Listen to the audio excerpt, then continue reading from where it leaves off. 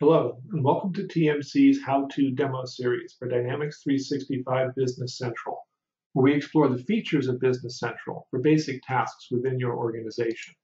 If you can't find a demo you're looking for, let us know in the comments below, and we'll try to make it happen. Today we're going to conclude our look at basic CRM in Dynamics 365 Business Central. In part one of the series, we covered the contacts, accounts, and the use of Microsoft Outlook with Business Central CRM. In part two, we saw the basics of opportunities and interactions. And now in part three, we'll walk through the marketing setup, marketing campaign, and marketing segments. My name is John Hoyt, Solutions Specialist for TMC. Let's get started. In this video, we'll begin with the basics in the CRM module marketing setups, marketing campaigns, and segments comprised of our contacts. Let's see how this works. I'll pull up my Business Central system. I'm logged in in the Sales and Marketing Manager role. I'll navigate over to my list of functions. And I want to scroll down in the setup area and talk real briefly about a couple of features that are real key in the marketing setup. Of course, we're going to have things like our defaults. We're going to be able to set up the numbering schema that we want to use for particular document types or contact types, whatever it might be. But I wanted to point out in this duplicate section, we have the ability to search for duplicate contact records, alert the user when those duplicates are found, and give them the ability to manage or edit or merge those duplicate contact records. You can specify what degree of overlap between two contact records you must find before you can declare it to be a duplicate. And you can set up a function to allow you to auto search for duplicates during the process of creating a new contact or updating an existing contact record.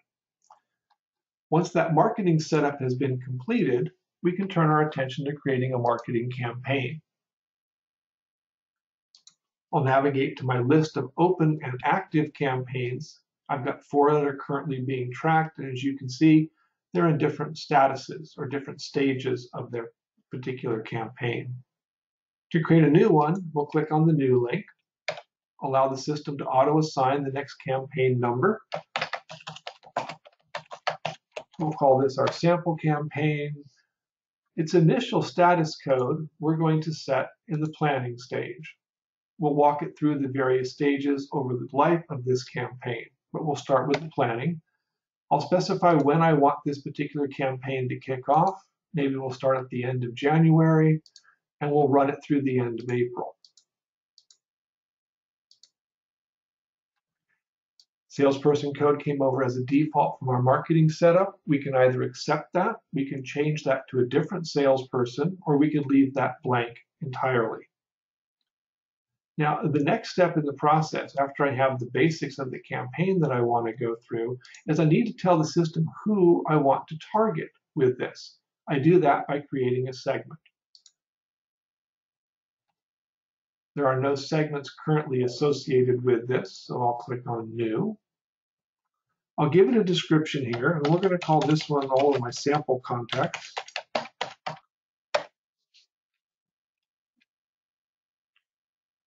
Click on the Add Contacts button. I want to allow existing contacts. They may be a member of a different marketing segment. They can be added onto this segment as well. I could use the filter. Maybe I want to filter for just those contacts associated with a particular salesperson. In this case, we again want to grab everybody, so I can leave that blank. And I'll simply say I want to now add in all of those contacts as part of my segment. I can expand that section out, see all the different people that we've selected, and realize that I've got more here than I really want to work with. So as the marketing manager, maybe I want to go through and I want to start to eliminate some of these contacts. And they're not really relevant to the campaign that we're going to be running, so I don't need to include them. When I'm done, I can simply back out of that, back out again, and now I have a group of contacts associated with my campaign I know who I'm going to be communicating with, but I need to have a purpose behind this campaign. I'm trying to liquidate inventory. Maybe I'm overstocked in a particular segment and I want to clear some space in the warehouse getting ready for next season's materials to be delivered.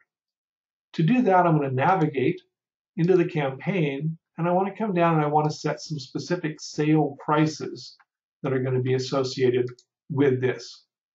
And so I could grab, take a document, I could specify that in order to get this discount, you've got to buy at least three of that table, and that's going to be the sale price that I want. Now, I can put in my starting and end dates again, end of January, and we'll run this one through the end of April.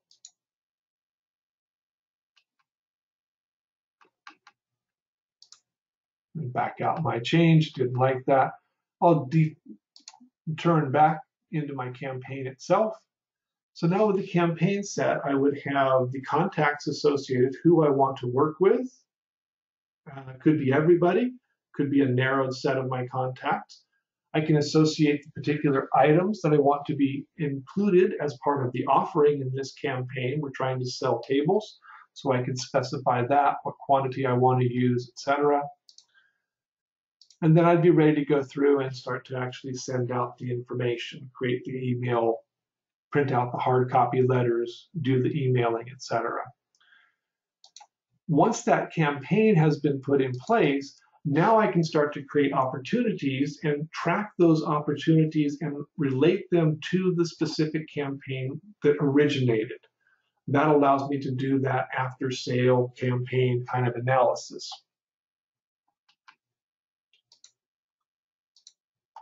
So in this video, we looked through the basic records of the CRM module, how to set up the CRM module for duplicate tracking, duplicate detection, how to create a quick campaign, how to create a segment of my contacts that are then going to be associated with that campaign. And then we can go through setting specific sales line pricing or sales line discounting and send that offer out to our contacts via email or via a formal letter in UPS, um, postal service. That wraps up this video. If you have any questions or would like to make a suggestion on what we should cover in the next video, please comment down below. I'll do my best to answer your comments, and if you need any immediate technical support, I invite you to visit our website about tmc.com. Also, don't forget to like this video and subscribe to our channel.